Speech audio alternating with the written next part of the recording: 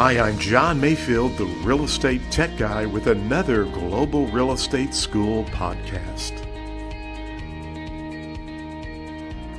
Welcome to the podcast. I'm John Mayfield, the real estate tech guy, and today we are going to continue talking about uh, some various definitions and terminology that you need to understand when calculating net income uh, we've already discussed effective gross income.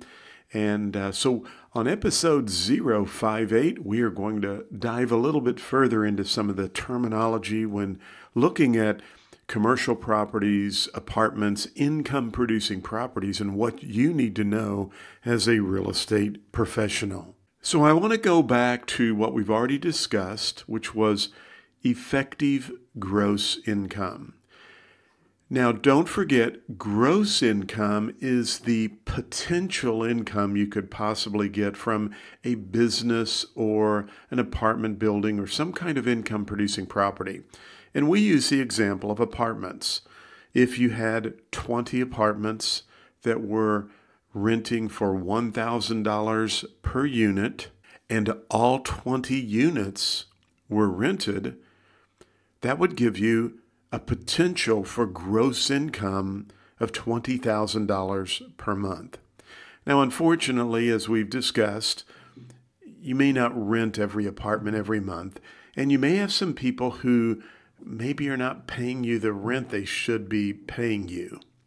So, when you deduct what we call your vacancy losses and your credit losses, that will give you effective gross income. So you take the potential that you could get and subtract any losses, which would be in the form of credit losses where you someone doesn't pay or, or vacancy losses, you get effective gross income. Now I know there are some um, eh, there are some advanced real estate students out there who are saying, now, wait a minute, John, you also need to add in any potential income.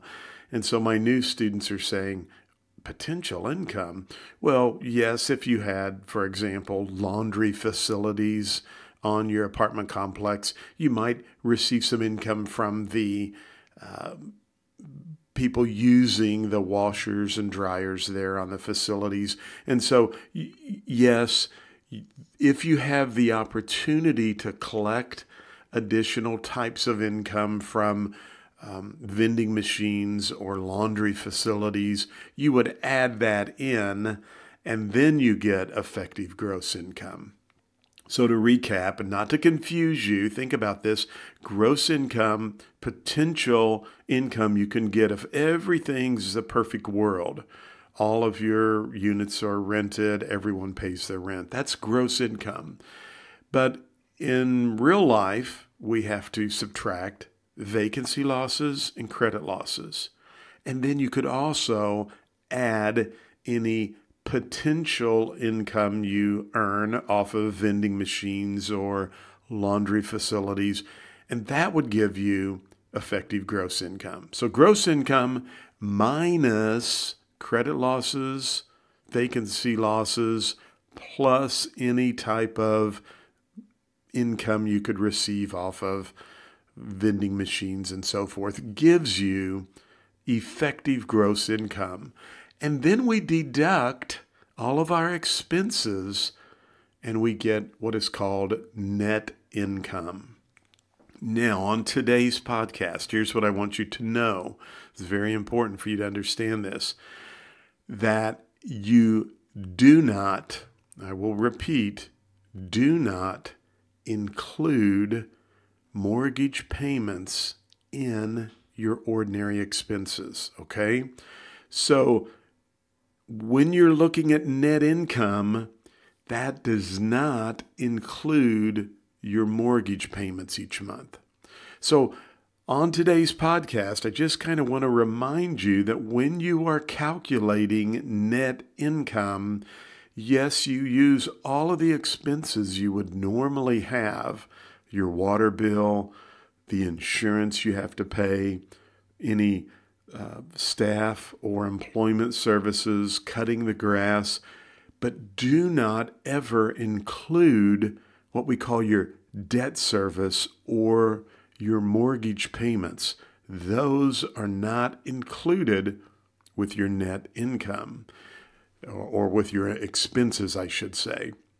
So when you when you're looking at net income, that's really not taking into consideration what the mortgage payments are. And so once you have net income, you would deduct what we call your debt service or whatever your principal and interest payments are throughout the year. And after you deduct that, you get what is called before tax cash flow. All right? So don't forget, we, we go from gross income to calculating effective gross income to calculating our net income to finally calculating before tax cash flow. So when you take net income and you deduct your mortgage principal payment and your mortgage interest payment, it will give you before tax cash flow. So, one more time gross income, total potential income you could receive off of a property. Subtract your vacancy and credit losses. Yes, you can add in any type of small income you might receive from laundry facilities or vending machines. And that gives you what? That's right, effective gross income. Then deduct your expenses to get net operating income or NOI. But don't forget, we're not including our mortgage payment with our normal expenses. So the last step then would be to take a net operating income and deduct our mortgage principal and interest payments, and we get before tax cash flow. And actually, there's one more step, and we'll talk about that on the next podcast. Thank you for listening to the podcast for Global Real Estate School.